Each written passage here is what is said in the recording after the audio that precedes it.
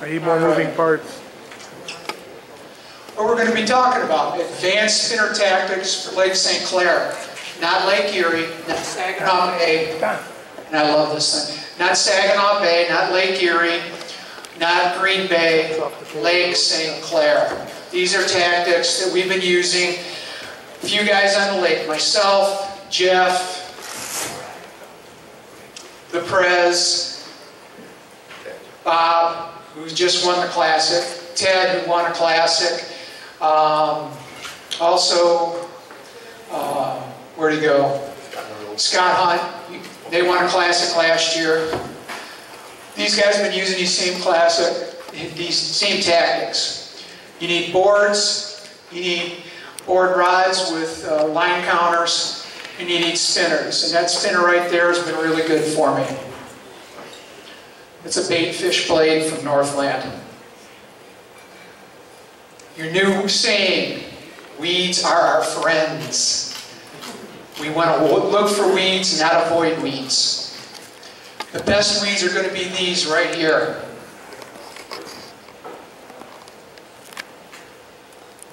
Broad-leafed cabbage vegetation. You're going to see these big clumps. You're going to see these uh, big uh, avenues through them. Breaks into weeds with room above. Perch. That's the key. Weeds and perch. And you'll see why pretty soon. This is what they're going to look on your sonar. On the left, that's a regular sonar. They're going to look like those clumps, those big yellow clumps with breaks in them. Now on the right is down imaging. You can see those actual stalks on the down imaging. You can see the stalks of the cabbage. You can see the individual stalks. You can see the breaks in the stalks. That's what you're going to be looking for. Now these are the tactics you're going to be looking for. I want you to start you doing this every time out. This is what I've been doing. I want you to find and map the weed beds. Now just go over them and start fishing. You're going to use your sonar and GPS in conjunction. You're going to use them together.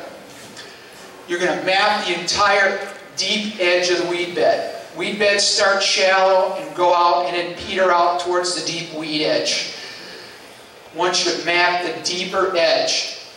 Walleyes hang out on those deep weed edges. The deep weed edges where they peter out into the shallow, into those uh, deeper edges, that's magnets for the walleyes. Map the entire weed edge, beds, find the little cups and points. They're not straight edges when they just don't dive off like a cliff. They're going to have points they're going to runs, little cups in, they'll come back out. They're going to have little runs, points, cups. They'll make turns in, come back out. All those little things you're going to map. You're going to be going zigzagging back and forth with your boat, laying down GPS points. Now on a Lowrance unit, every time you hit a GPS, you hit your waypoint, a little box pops up on like an HDS unit. Your waypoint comes up. You can change that waypoint. It says you can go down in your drop-down box, hit your uh, little drop-down box area, highlight it with your highlight area, go down on there, hit enter, and another drop-down box comes down with a whole bunch of waypoint uh, images. One of them is weeds. Actually, there's two weeds images, a big weed and a small weed edge. Pick one of them. I, you can pick either one of them. And Lowrance has this, I'm sure Humminbird has it too. But you can change your waypoint image. You, and I want you to start doing this. And use a weed image, a weed waypoint to map your weed, weeds. Once you have mapped the weed edges, then you can start using those weed edges and fish over them because that's where the big walleyes feed. They use those edges as ambush points for the bait fish. And fish where the fish are. Use your sonar. Don't fish where you don't see anything. That's a big mistake a lot of people use. Now deep water, a lot of times fish can be way up high or high right on the bottom and you might not see them. In our lake, you're not going to, you're going to see fish or you're not going to see fish. Fish where, they're, where, fish where you're going to see a lot of bait fish, a lot of activity, that's where you want to fish. If there's no bait fish in the area, there's no activity, don't fish there. Find them. Now this is an actual shot from my GPS and sonar unit. See these weed clumps? That's what you want to see. You want to see those weed clumps, those spots in between. That means you're on an edge. You're not seeing just solid weeds. You're seeing intermittent weeds. You're seeing bait fish above. These are not, these are all bait fish above here. And see that right there? That's a fish. That's a nice sized fish. That's not a weed. That's three feet of, that's about two feet above that weed right there. That's a fish arc. That's a prime spot to fish. Now, I don't know if you can see on this because I'm zoomed out, but these are those weed arc icons right there. Icon, icon, icon, icon. Those are weed icons right there. I've mapped a weed edge right there. There's some more weed edges right there. Weed icons. Weed icons right through there. That's north of the dumping grounds. There's some more over in here, right over here off Stony Point. This is from a few years ago. Let me tell you, I've got a whole bunch more mapped now. Every time you go out, start doing this. Every new area you find, map them. Before you know it, you're going to have more and more areas. Now, fishing tactics. Fish for the most aggressive fish first off in the morning. What I mean by that is early in the morning, troll quicker than you will any other part of the day. 1.4, 1.5, 1.6, 1.7 miles an hour. Troll those spinners quick, cover area, pick off the most aggressive fish in the morning.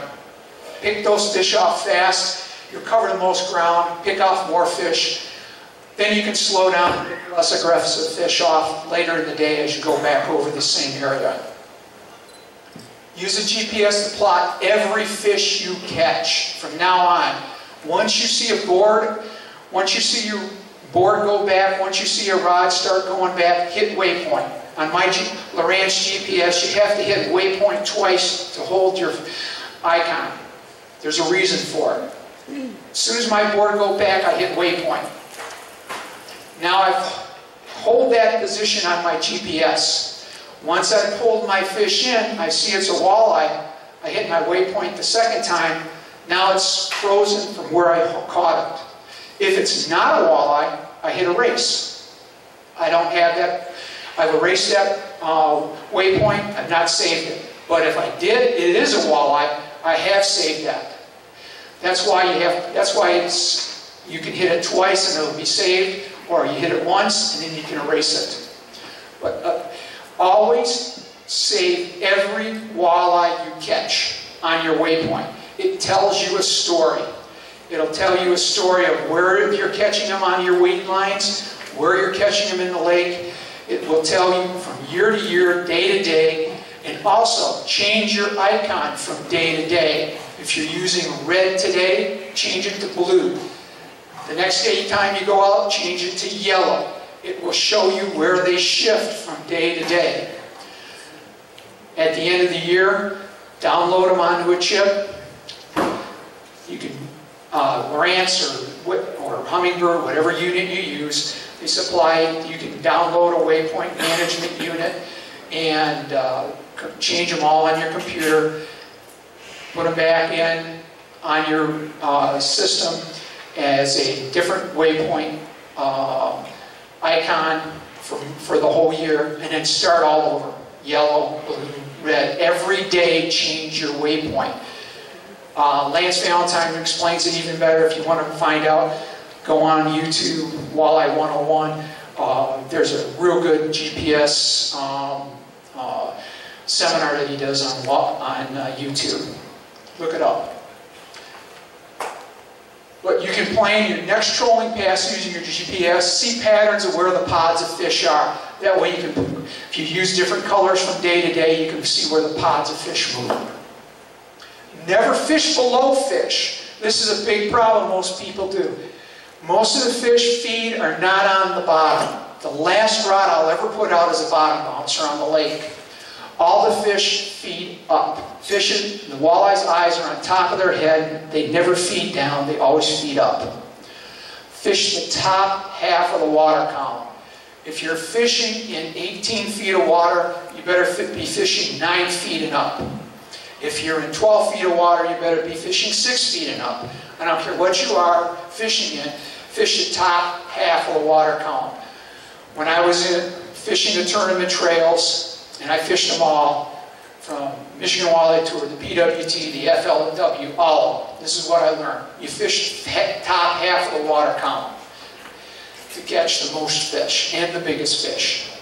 You top half of the water column, not the bottom half. Now in a river system, that's totally different. They're on the bottom. But in the lake, you fish the top half. You can't fish high enough. The top five feet, the top two feet. I'm telling you, you can't fish high enough in a lake. Fish higher. You'll catch big, bigger and more fish. Right, Jeff? Yes, sir. Well, you're targeting the more aggressive fish that are up off the bottom, too. Absolutely. Start fishing from the top down. Stagger your baits from just below the surface, and I mean just below the surface.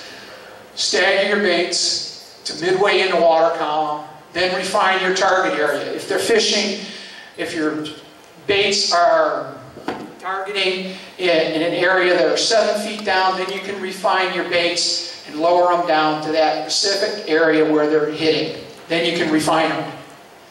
You cannot fish too high Use bottom bouncers last. The fish on the bottom are the least likely to bite. They're resting. They've fed. They've already had their Thanksgiving dinner. They're on the bottom. They're resting. They're on the couch sleeping. Now, if you drag it right in front of their nose, yeah, they might eat it.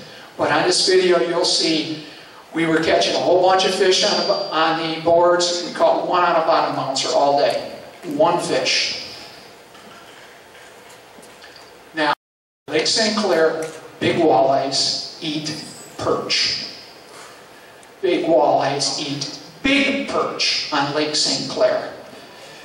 Scott Hunt will attest to that because on the last classic in his live well was probably about an eight or nine inch perch that was puked up. And in my live well there were several big perch puked up. All my spinners, these are my top spinners that I run, I run several, but these are probably some of my best. All my spinner harnesses for Lake St. Clair are perch patterns. I use big blades to catch big fish, fives and sixes, and mostly sixes, and they're all deep cup. I use 15 pound test Seaguar, a X fluorocarbon to tie my lead, leads on. 15 pound Seaguar. Quality hooks, Daiichi or Gamakatsu, red hooks. I started this year using two red hooks. My catch rate has literally jumped up. I used to use one red hook in the front and a black hook and black nickel hook in the back. Started using two red hooks, my catch rate has gone up.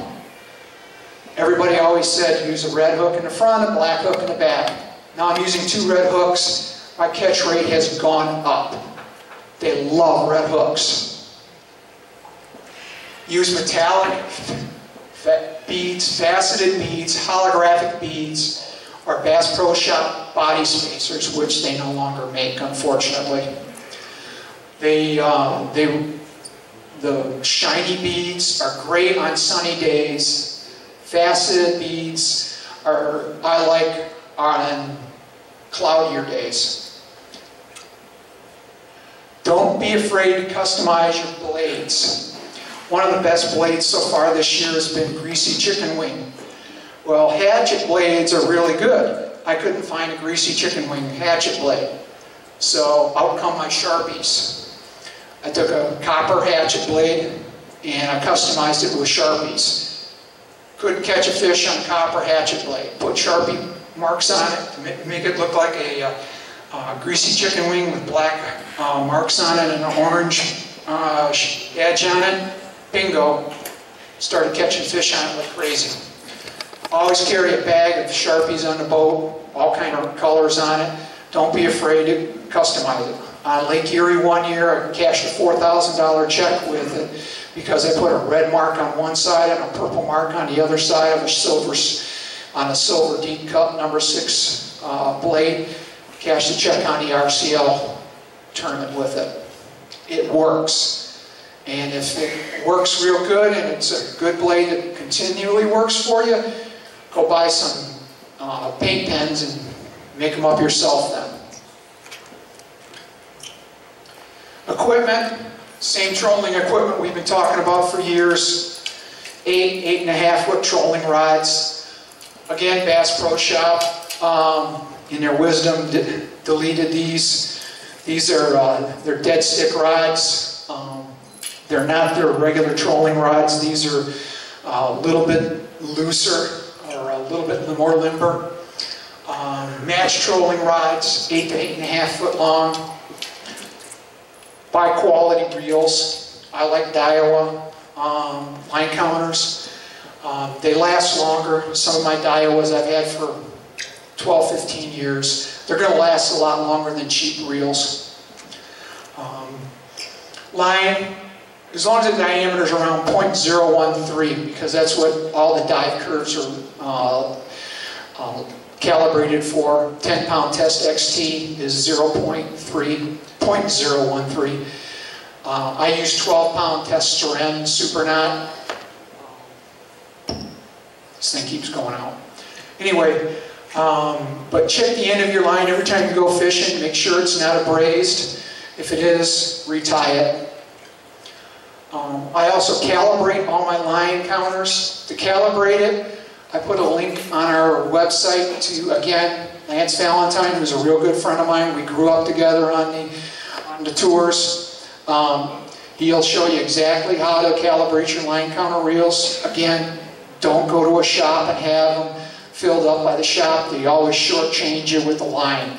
You have to go and buy a good size, like 3,300 uh, yards of line and put it on yourself and calibrate the lines. I put a link on our website on how to do that with your line counters. Lance Valentine can show you a lot better than I show you and then I can describe it.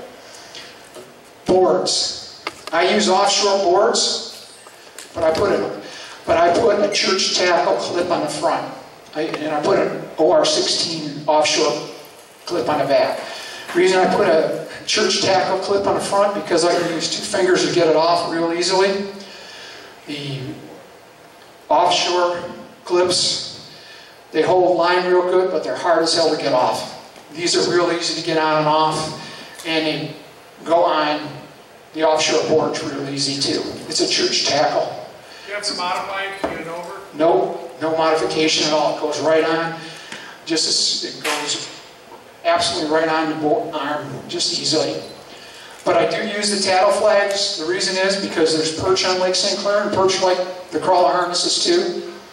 And as soon as the perch comes on, the tattle flag goes dip, dip, and is at half mast. The board doesn't move, but the flag does. You could be dragging a perch on Lake St. Clair for a half hour and the board would never move.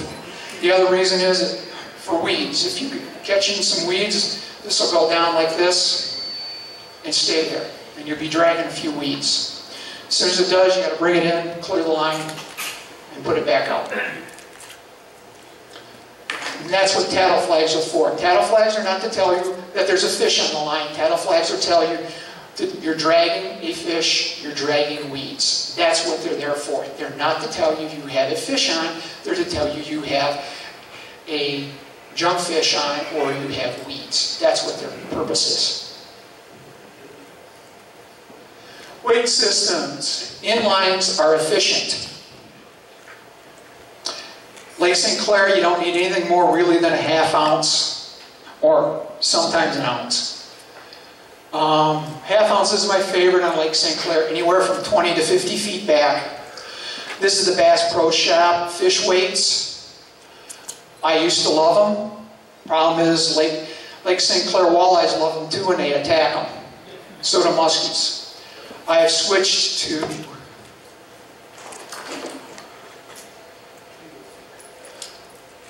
bead chain keel sinkers quite a few years ago. So have most of the guys on the tours. The reason is, the, like I said, the fish attack the fish weights quite a bit.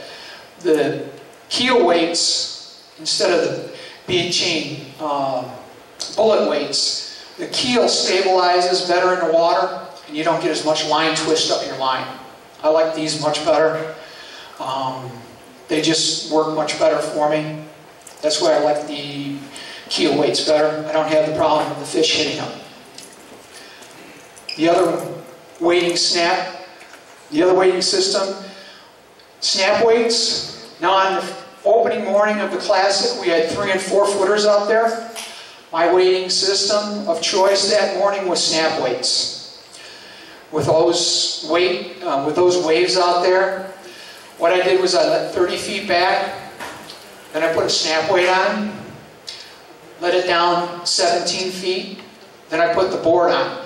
What happens is on that angle, you got 17 feet down, which probably with only a one ounce weight, you're only about, probably about seven or eight feet down, not, even, or even not even that, with those waves. That angle it creates with that board going up and down, the snap weight is going up and down in the water column, but it deadens the action on the crawler harness. The crawler harness with an inline weight would be surging too much, now it's three and four foot waves. So on the snap weight, it was just bobbing up and down. The snap weight was moving up and down, but the crawler harness wasn't moving as much. We caught over 30 walleyes that day, and we came in third place, and uh, we did pretty good. But in big waves, I like snap weights because of that reason. When the, now when the uh, weeds get really thick, like in about another month, we get a lot of floating weeds. One of the weighting systems you want to try, I don't have it here, but try a light bottom bouncer, half ounce. Just put a regular bottom bouncer, wire bottom bouncer, L shape, put that on your line. Use that as an inline sinker. That bottom bouncer will catch a lot of the floating weeds and keep them off of your crawler harness. As it goes down the line, that L shape will catch a lot of your line. Lastly, when it's slow out, I've been experimenting with this for the last couple years. In 97, I got a lesson from the PWT team when they were here, and I've been playing with this. When it's real slow out, break out the lead core. This sounds stupid. It works. When it's dead, flat, calm out, and then nothing is biting except the flies, one in it and when I'm out 19 feet of water, one and a half colors of lead core. Yes, lead core comes in colors. One color is 10 feet, or 10 yards, 30 feet. I found that one and a half colors of lead core segmented is perfect for Lake St. Clair. This outfishes any other weighting system. I was out with Jeff one day, and Jeff will attest, um, it was it was rocking. It was rocket. It was much better than inline weights, snap weights, anything else. And I refined it, and I got it down to one and a half colors. That's the color. And if you're a little bit less water, nothing's biting, you're not getting anything else, this gets it farther away, and that lead core just kind of waves back there behind that board. You get it, and you push it way far from the boat. Get it 100, yard, 100 feet away from the boat or so, and that sucker just waves out there. This stuff will put boat, fish in the boat when nothing else will. And I'm fishing on the same kind of rod, eight and a half foot rod. But you don't put the board on the lead core. That's why it's segmented. You have to put it on. Um, it's backed with uh, 12 pound test mono behind it. And if you want to find out how you connect it onto the mono, just type in Google, just Google. Best not the best way to uh, tie lead core to uh, um, monofilament. It's a real simple knot. I'm not going to, if, I'll explain it to you if you come up here later, but it's a simple knot. It's right here. And it's, this stuff will put fish in the boat when nothing else will. Hey Keith, how far was your lead on that lead core? Uh, I've got a 10 foot from the lead core to my uh, snap swivel at the end is 10 feet. I just got a 10 foot lead off of that. And then you put the, your, then you put your uh, regular crawler harness on. How much lead core on the back? One, one and a half colors of lead core for, you know, I'm fishing in 19, 20 feet of water in the deeper part. If you're fishing a little shallower, you might only need one color.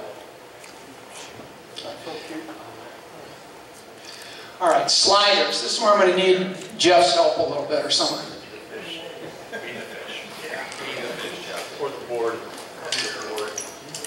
Question, are you gonna put this on our website? Yes, sir. Thank you. Okay, people have asked me what sliders are. This is a tournament tactic. These things are basically a last resort when you're fishing the classic or you're fishing a tournament. These things are a pain in the butt to run- but you'll also catch the biggest fish of the day. And it's another way to put fish in a boat, extra fish, and it's a legal way to put extra lines in the water. And I'll have to demonstrate it because it's hard to see, hard to believe, hard to see. We'll just put a short lead on. We don't, robbed right now. you're being what? Robbed. Rob? Yeah, I gotta keep an eye on Scott. No. We all have to keep an eye on Scott. Nothing to see over here. Keep doing what you're doing.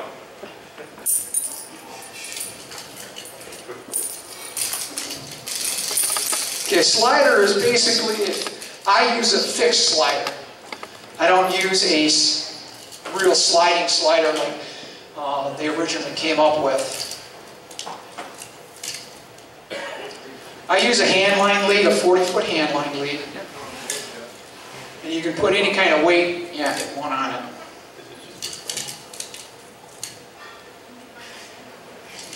Basically, you put your, your board out as you normally would.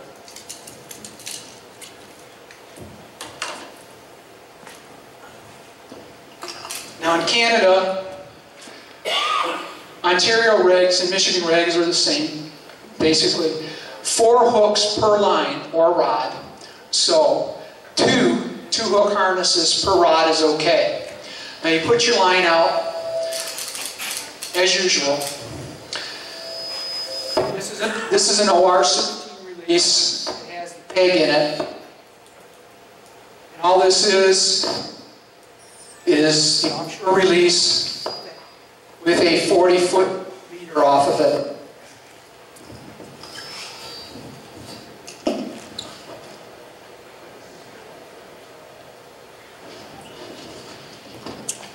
And in the boat, in the boat, and in the boat, you hook that up to your line, make sure that it's behind the peg, and you put this whole thing in the water. And you let it out. And as you can see, basically, you have, as it plays out, it goes out on the line. Now, when you have a fish on, it's pretty easy. Fish tugs, and your whole rod, because it's fixed on the line, your whole rod goes boingy, boingy, boingy. It's pretty easy to see when you got a fish on. Your whole rod, when it's in the rod holder, really goes nuts. And when you have a fish on, all you do is you roll it, you reel it up to the tip, and then you hand line in, just like if you're hand lining in the river. You hand line it in, like if you were ice fishing, or if you were hand lining in. This one, this weekend, I was using a three-quarter ounce just to keep it in under the waves. And you net the fish. Like I said, this is a pain in the butt to run sometimes, but when you're fishing in a tournament for money, it's a way to get extra lines in the water. And I caught my biggest fish using this. For some reason, the biggest fish love to see sliders. Don't know why, but they do. Every time I run them, my biggest fish come off sliders.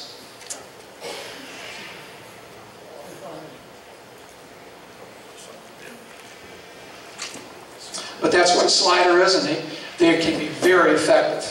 Tournament guys have been using them for a couple decades now, and they really work. Tangles are not too common, but when you got them on the outside board, you got a board and a slider on the inside board, it can get be fun.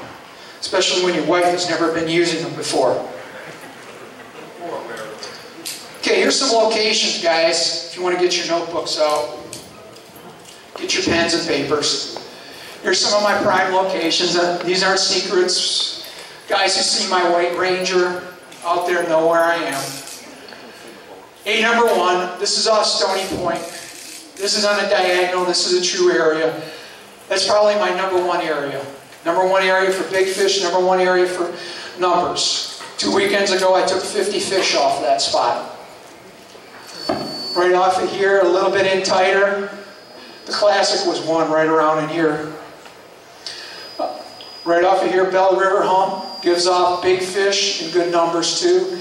And a little bit east, uh, west of there, that's usually a good spot for a real good weed bed in there too. Just north of the dumps, there's a good weed bed area in there that's really good. And, okay, right there's the St. Clair Light. There's a real good weed bed on a diagonal right there that's really good. Just north of there, the 27, 28 can area, there's always, there's some emergent weed beds down there that always gives up really good fish starting right around now. Yeah, I know. Yeah, I know that's one of your spots. Right here, no one fishes but me. And I called Jeff there last year. It's about three, three and a half miles uh, east of the uh, uh, cracker, firecracker. Little spot right there. Uh, did really good during the uh, July, August Derby last year. Just east of there is, the, is a really nice weed bed again. Right off the sandbar drop. Uh, right here, that's called, that's, there's a little hump over here and weed bed called Don's Hump. Right here is, of course, the 400 Club. That's kind of dead now. That's already gone. That's good early. And this area off the, uh, off the Grosse Pointe Yacht Club, they're here, they're there or they're not. Don't ask me why. There's nothing there to keep them. They're there or they're not. And if they're not there, they're here. They're, they're either there or there. And I, and I probably uh, fish those two spots. And if you notice, most of the spots are on the Canadian side. Everybody asks me, why do I fish the Canadian side? The reason is, the reason is, all these creeks and rivers are on the Canadian side, dump over on the Canadian side, and it is, okay, what? Lost my signal. The reason is all those creeks and everything dump all the nutrients into that side of the lake. And that's where all the,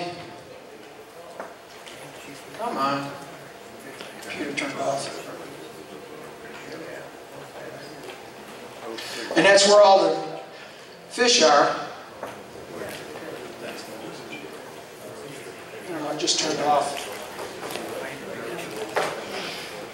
Oh, anyway. Somebody told me what?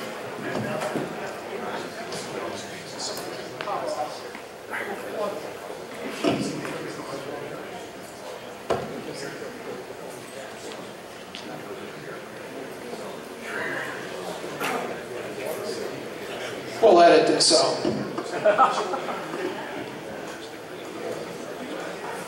Power plug got pulled out of the computer.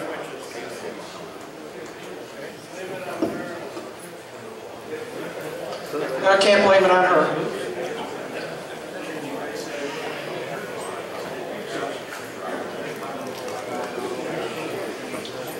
There we go.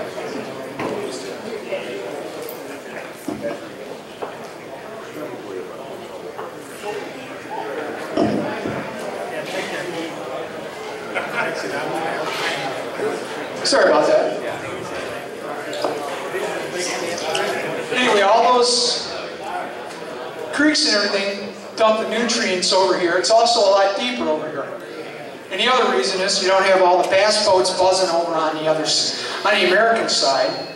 All the PWCs over there, personal watercrafts, and all the marinas over here buzzing over to the islands back and forth. So you got a lot fishing, you got a lot less pressure over there on the fish, a lot calmer, a lot more nutrients. Fish get bigger, they don't have, and a lot more food. That's why I fish over there. Hey, Don's, Don's uh, hump was what, what boy about? And these are the results, guys. Most of these fish were caught this year on the lake.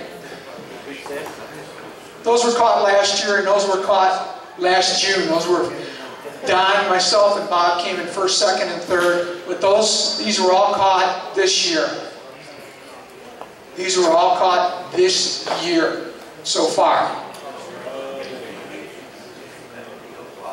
That's the quality of fish that is on this lake right now. Open it up for discussion. Any, any question?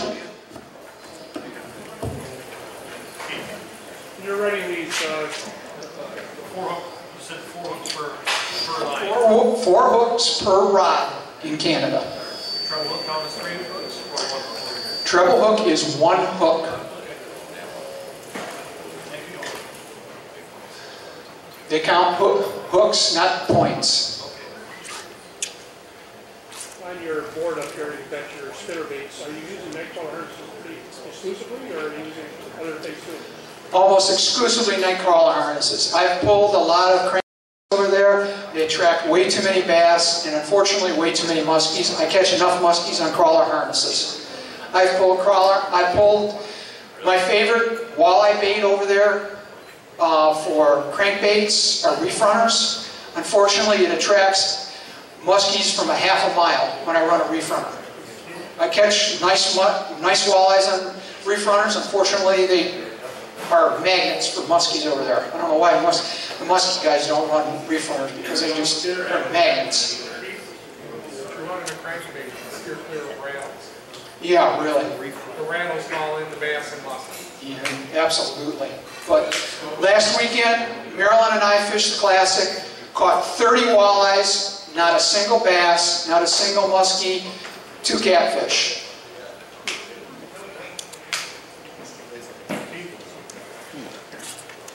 How fast do you go? Usually, I try and keep it right around 1.3, 1.4, but like I said, in the morning, I, I like to kick it up faster. Uh, 1.5, 1.6, and then I'll slow it down during the day to try and pick off uh, less aggressive. Go down to 1.2. Anybody else?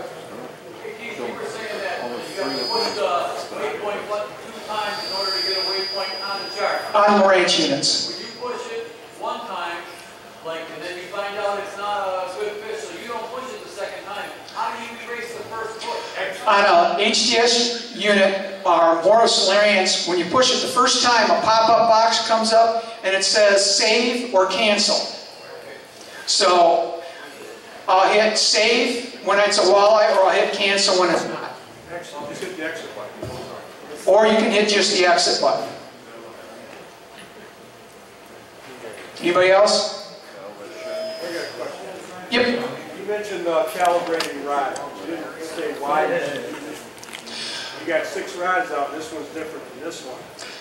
like I said, Lance Valentine can, uh, So you tell me, He'll tell you how, why, he'll, he'll tell you how to do it. The reason why is if you're running six boards, um, why you, why you should calibrate your rods. If you got six boards up, you've got three guys on your boat, and you're running six boards out, the reason why you should be having them all calibrated properly, so each one of them reads 100 feet out at a true 100 feet out when it's, when it's a measured 100 feet, is because that way you know exactly rod A and rod C are measured exactly. You can put out a 30 feet of line out or 35 feet of line out. Exactly, each one is repeatable perfectly. If not, if you have Joe Blow at the bait shop puts line on your reels for you, they're going to shortchange you. Your line, your spools on your line counters, they don't measure the line out. They measure revolutions. And each reel is calibrated for how many revolutions out with a perfectly full spool. If you're not, if the spool is not perfectly full, it will not read out the line out perfectly, properly. So you have to put it on your line properly yourself. You have to measure out 100 feet on your driveway.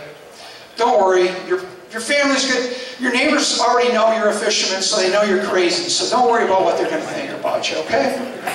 Measure out 100 feet.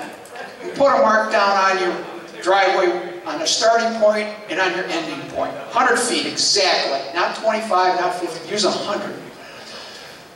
Get a full spool of 3,300 yards because I got six rods. I actually got a lot more than that, but get a big spool of line, good quality line. I don't care if it's trilene, Stren, sun line, P line, I don't care what you're using, as long as it's a good line, good quality line and about 0.013 thickness.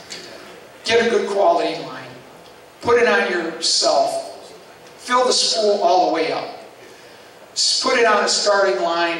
What I do is I put a stake down where I start, have an offshore clip, clip it onto the line where I start with a full spool, have my line counter full, then I walk off the 100, 100 feet with my spool.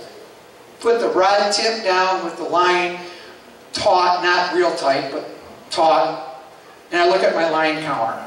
Now, if your line counter is under 100, you have too much line on your reel because it hasn't gone, the revolutions have not gone enough. That means you have too much line on.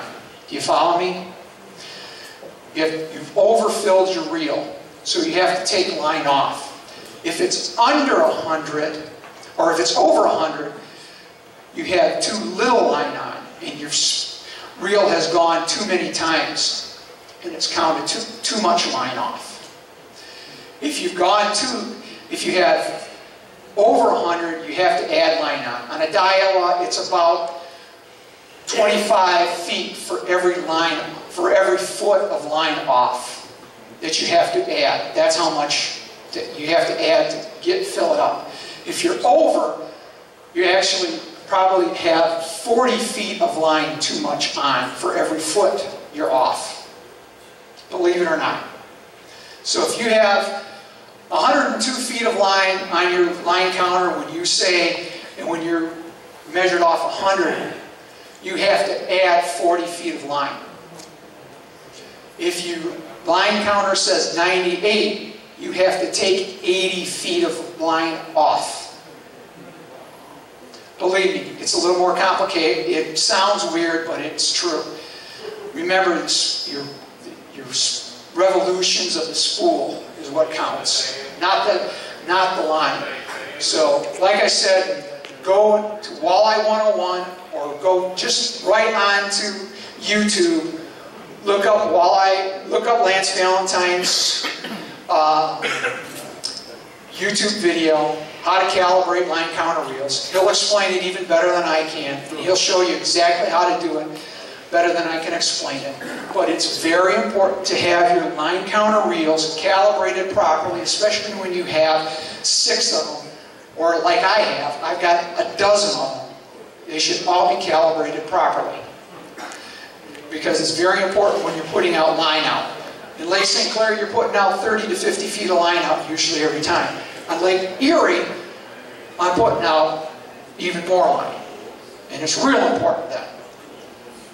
Another thing to add to that is if your rods are calibrated and another boat tells you, yeah, I'm- I'm 35 feet up, his lines aren't calibrated, you're not getting the same. You're not communicating right. If your buddy is, and the same thing is, if your buddy, if your buddy doesn't have his, this is a in a whole nother situation, but say you're, most people don't have their, um, transducers offset properly. Their transducer is in the water, nobody sets their offset. How much, how deep of water are you in? Well, that might be, well, I'm in 17 feet of water. Well, how deep is the transom of your boat? You, your boat might be, Bob's boat, your transom is a lot deeper than mine. You, your 17 feet of water is 20 feet of water, actually, 21 feet of water, because of the, because of how deep yours. If you don't set the offset of the transom of your boat for the true depth of water, you don't know what actual water is to communicate with one buddy doing it. That's a whole other seminar on sonar units. That's in your unit. Yeah, that's a whole other set. I could go in, uh, that's a whole other se- seminar on how to set up your sonar unit. Is there another question? Keep, watch your feet, you're in a lot of line. Yeah. All right, and there are no other, yep. Question, you know that you use HDS a lot, do you normally use preset settings that they have, like fishing No, no, no, no, no, no, no, no, no. That's a whole nother seminar, but yeah.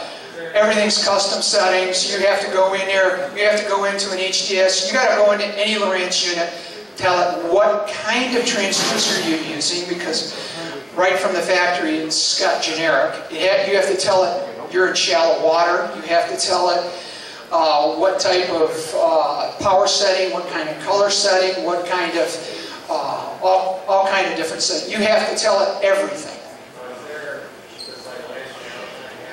Yes. YouTube is your friend. Go on YouTube. There is all. Lance Valentine will tell you how to set up uh, Lowrance units. If you have a Humminbird, there are Humminbird videos on how to set up a Humminbird unit. There are. If you have a Garmin unit, they have videos on how to set up a Garmin unit. There's Lance Valentine's has a good video on it, the other guy has a good video on it is Doc Samson. It's the ultimate fishing dot, no, uh, hightechfishing.com. Yep. It's Doc Samson, Really- both of them are really good. Trolling, uh, in the lake, I know there's not a lot of current, but Yes, there is a lot of current in the lake. There's a lot of current in the lake. On the American side, all the current is north to south. On the Canadian side, there's mixed currents. On the south shore, it's all from east to west. On the north side, it's east to southwest. Northeast to southwest. There are mixed currents in the lake. you want to troll with current? or If you're cur, if you want cur, troll with the current, that's fine. If you're trolling, I always troll with the wind.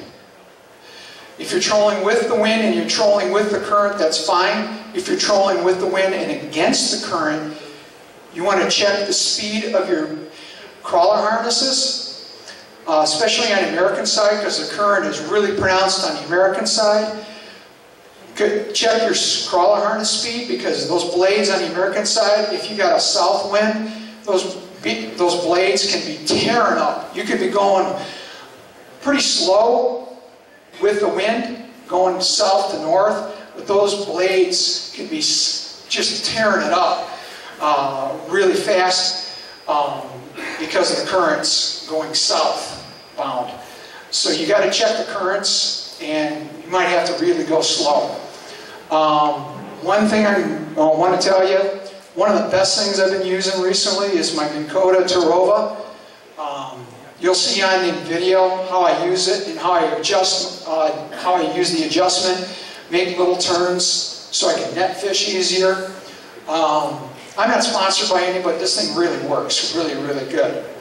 Uh, the remote control for this. Uh, Don, you want to just go right into the video? Yeah. All right. Uh, let's go into the video and we'll uh, get right into that.